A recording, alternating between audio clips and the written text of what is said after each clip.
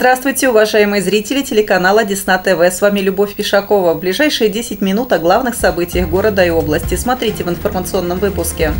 Закончил полковую школу, призвали младшие сержанты, и расчет. Пушка была. В тот период времени пушка была очень грозная. Встреча поколений прошла в музее.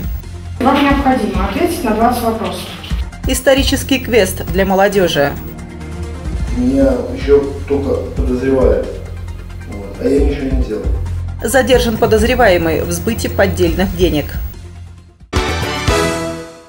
А теперь об этих и других событиях подробнее. Смоленскую область с деловым визитом посетила делегация португальской компании «Игуари Вариус» для анализа потенциала возможного сотрудничества в агропромышленном секторе. Компания занимается производством и переработкой свинины и обладает большим опытом работы в данной сфере.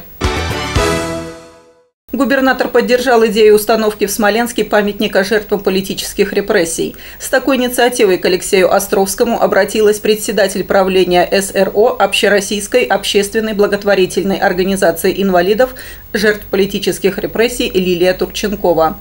Глава региона порекомендовал заранее определить источники финансирования строительства памятника, задействовав средства внебюджетных фондов. Минтруд составил праздничный календарь на 2017 год. Самыми продолжительными будут новогодние праздники с 31 декабря по 8 января. Несколько праздничных дней в следующем году совпадают с выходными. Предложено их перенести. Таким образом, мы получаем по 4 выходных дня в феврале и в мае. 22 июня, в День памяти и скорби, в историко-краеведческом музее Десногорска состоялась встреча поколений. Подробности в нашем сюжете.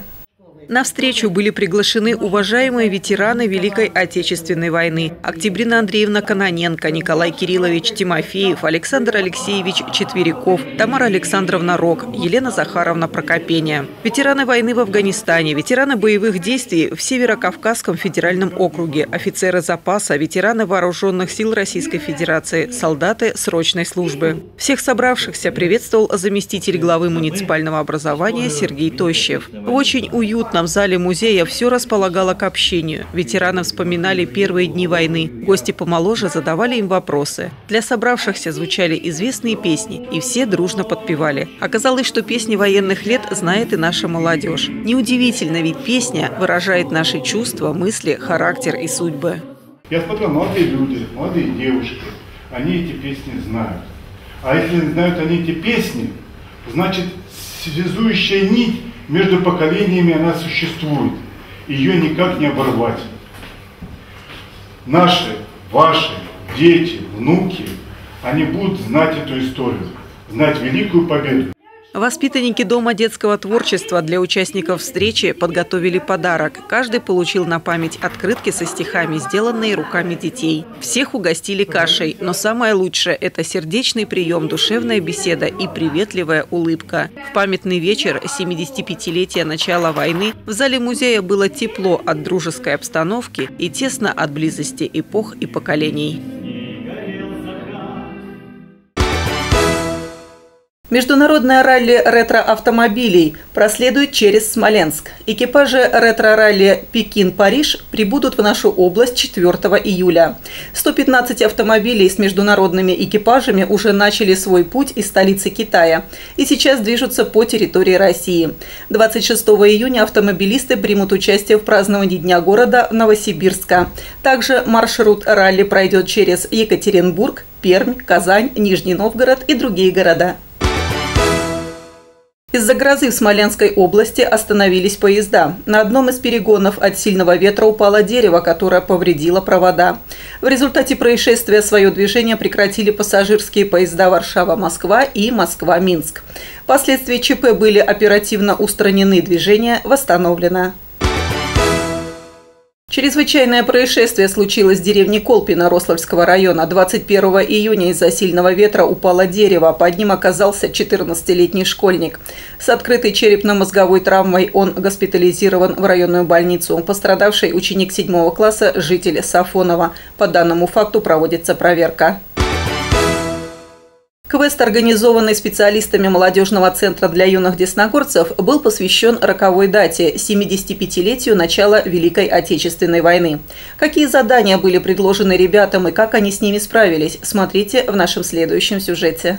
Четырем командам было предложено пройти череду препятствий и достичь цели, причем выполнять задания нужно было на время. Капитаны получили маршрутные листы и состязания начались. Ребята отвечали на вопросы по истории Отечества, сдавали нормы ГТО, оказывали первую медицинскую помощь и одевали, опять же на время, защитные костюмы и противогазы. Все участники исторического квеста оказались эрудированными и физически крепкими. Определить победителя было непросто, но вмешалась погода года. Команды не успели пройти все этапы, как начался ливень. Жюри определило, что победила дружба.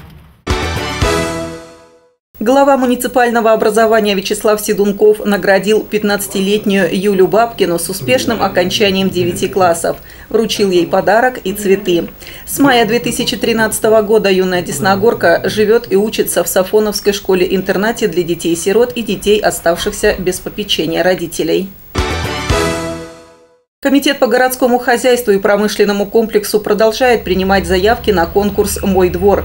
Подробности можно узнать на официальном сайте администрации Десногорска. Приглашаем жителей и коллективы предприятий принять участие и сделать наш город еще краше. Криминальные новости. В области по горячим следам задержан подозреваемый в сбыте поддельных денежных купюр. Подробности далее.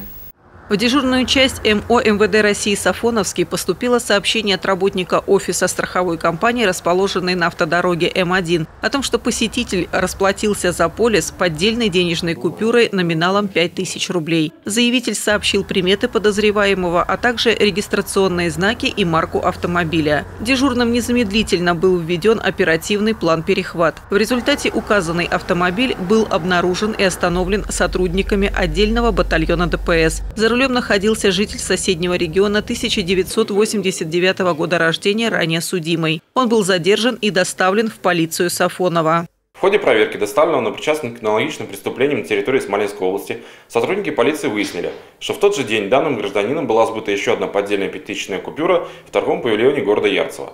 Следственным отделом межмуниципального отдела МВД России Сафоновский возбуждено уголовное дело по статье Уголовного кодекса Российской Федерации «Изготовление, хранение, перевозка или сбыт поддельных денег или ценных бумаг». Санкция данной статьи предусматривает наказание в виде лишения свободного срока до 8 лет. В настоящее время полицейскими продолжается работа по установлению причастности задержанного к аналогичным преступлениям на территории региона. Накануне в микрорайоне Гнездово Смоленской области второклассник Даниил Бахарев спас тонущего ребенка. Трехлетний мальчик играл на берегу реки, не удержался и со склона упал в воду. Благодаря отважному поступку Даниила никто не пострадал. Но не стоит забывать, что подвиг ребенка – это результат халатности взрослых. Уважаемые десногорцы, берегите себя и своих близких. Ночью 23 июня в Десногорске произошло ДТП. 19-летний водитель Ауди, пытаясь скрыться от полиции, превысил скорость. На выезде из города он не справился с управлением. Машина на большой скорости ударилась о бордюр и перевернулась, пролетев еще около сотни метров. 15-летняя пассажирка и сам виновник аварии с травмами госпитализированы в медсанчасть 135. 25 июня в Десногорске пройдут праздничные мероприятия, посвященные Всероссийскому дню молодежи. В этот день с 12 до 15 часов на скалодроме состоится чемпионат по рубке шашкой. А с 16 до 22 часов на городской эстраде будут выступать рок-группы и исполнители рэпа. В 17.30 стартует велопробег по улицам города. Зарегистрироваться можно возле храма в честь иконы Божьей Матери всех скорбящих радости.